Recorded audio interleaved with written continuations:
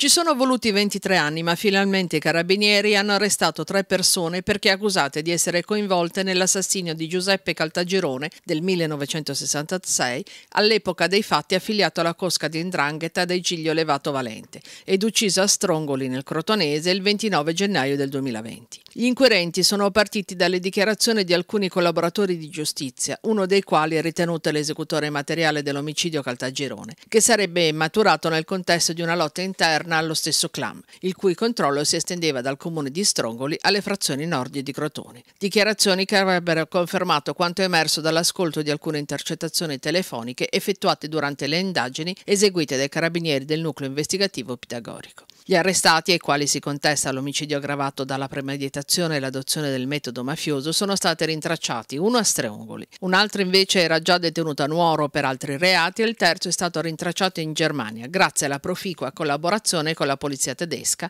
e al servizio della cooperazione internazionale di polizia.